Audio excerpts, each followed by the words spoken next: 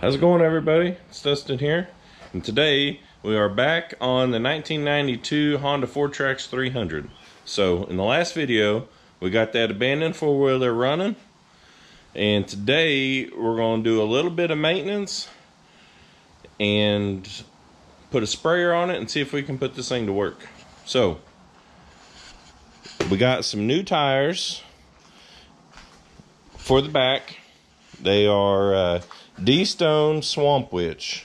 I think they were 110 bucks a piece mounted. So definitely a uh, budget-friendly tire. So I didn't want to go crazy. I was really wanting to find some that looked like the old ones, just because I thought they looked cool, but didn't find them. So, or I could find them, but I didn't want to wait as long as it was going to take. So we're going to throw the rear tires back on it. We're going to change the engine oil because God knows how old it is. And if we get time, we'll hit the rear end, but I don't know if we'll get time tonight or not. So we got a cool place to go tonight, which will be in a separate video, but so we ain't got a whole lot of time today. So we're gonna get the oil changed, put the tires back on it, get my spray rig put on it, and see if we can get it wired up.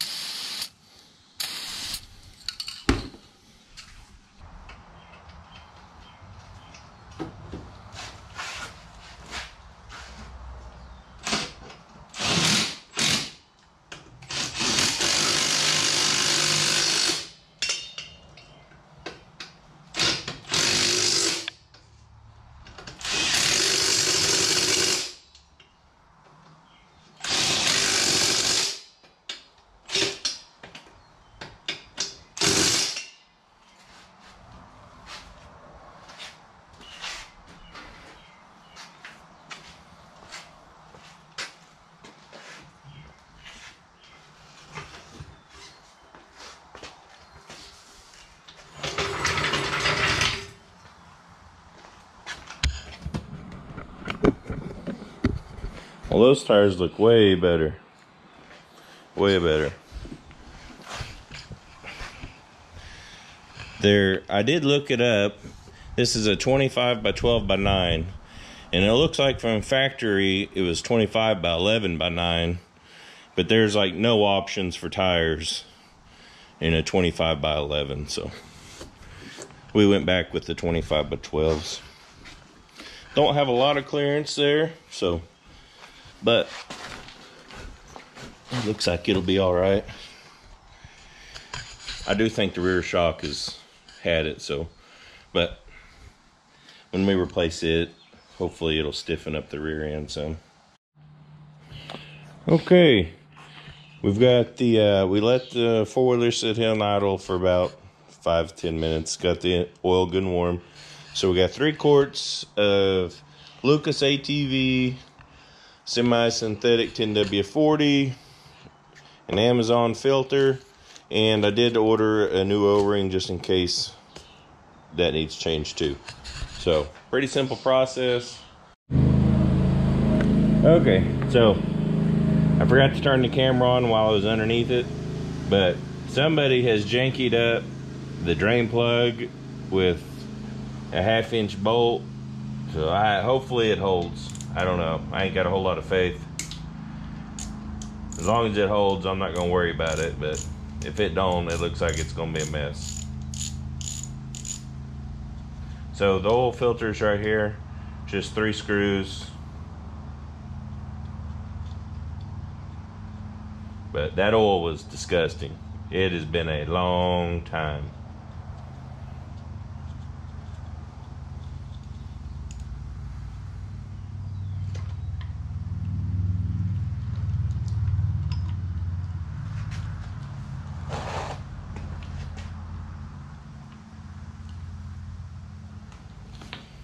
Okay.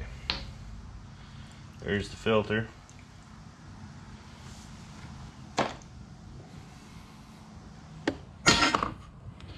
So I went ahead and got a new O-ring. Well, there's actually two. One that goes right here. get a pick.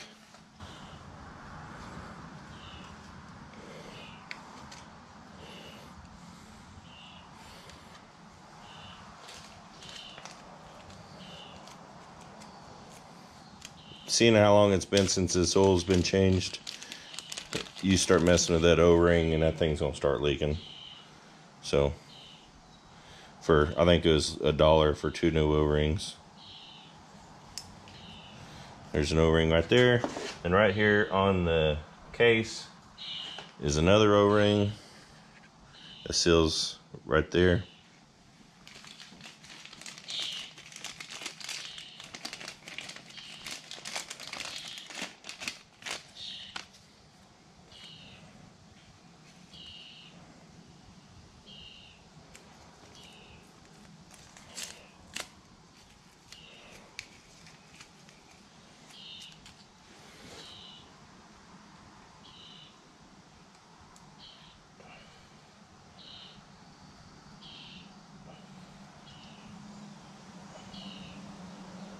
And in typical Amazon fashion, that is not the right O-ring.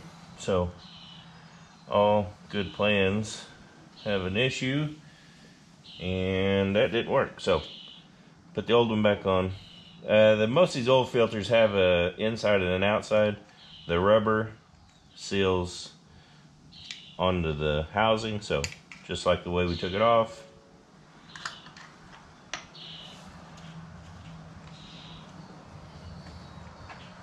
Kind of annoying that O-ring didn't work.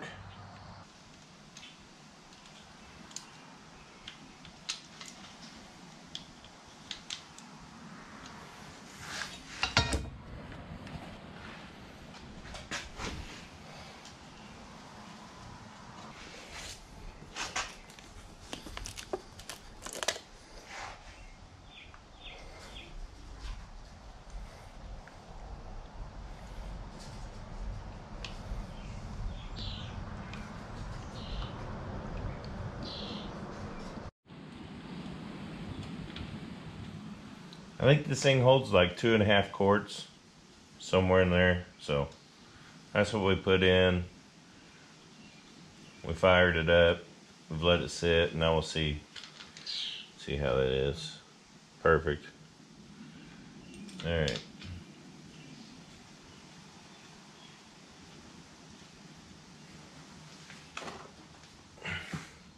Well, I wish I'd had the camera on when I pulled the plug out, but I mean, this stuff is nasty. Looks like some diesel oil that's been ran about 40,000 miles across country. It is dirty. Okay, so we got the engine oil changed. We're gonna wait on the rear end until we go to messing with them brakes in case we gotta take that stuff apart anyway. So I've got a 45 gallon sprayer that we had had in a gator at one time. But it's got this frame for sitting in the bed of a UTV. Need to take it off. That way the tank can sit on the rack. Throw a strap on it and uh, hopefully get the spraying.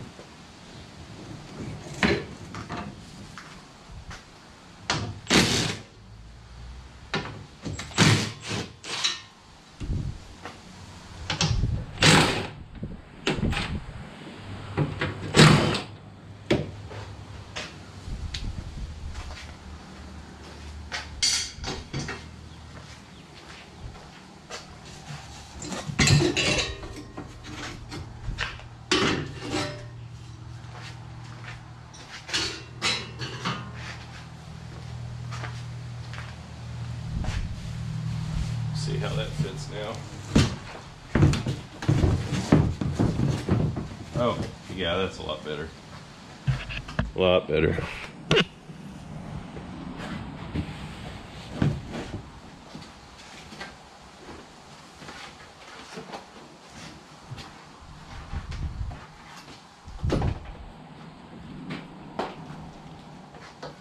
All right. I've got the uh, power and ground just on some alligator clips since we take it on and off uh, all the time. I don't want to hardwire it in.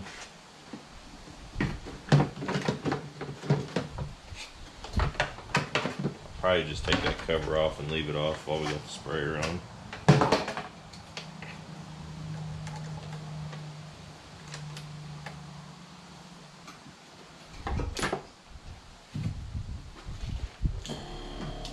Deal. Everything still works. Well, we got it mounted. Everything works.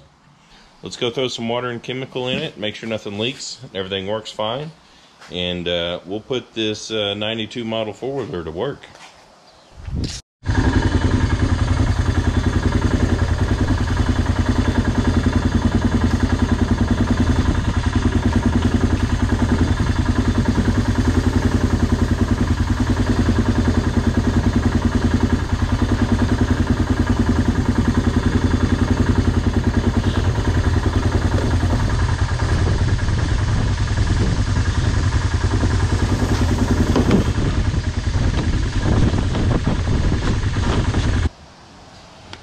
Well, we got our generic Roundup, and we got the tank just about full. Got about 40 gallons in there, and we're gonna go do some spraying. It's definitely squatting the back end pretty good, but it'll work.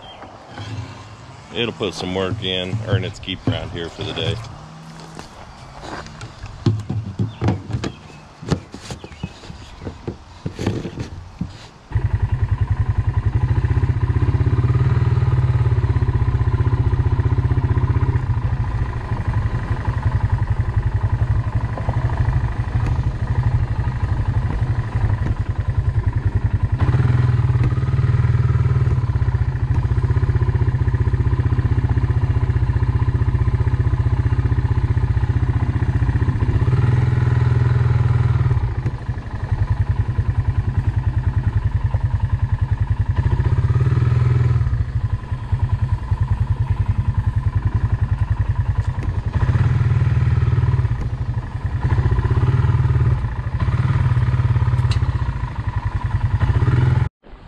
Well, got uh, most of the first tank of spray ran through the sprayer.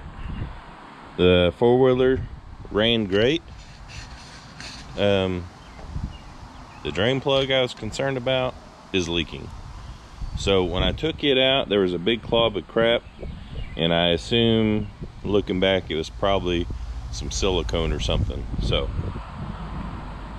I thought, well, I'll look up because someone has drilled and tapped it for a half inch coarse thread bolt for some reason. And that's what that was they've ran a bolt with a nut in it. I don't know. Somehow they managed to keep it from leaking. But if i'm gonna do all that we're gonna try a different kind of drain plug. So usually you can find uh,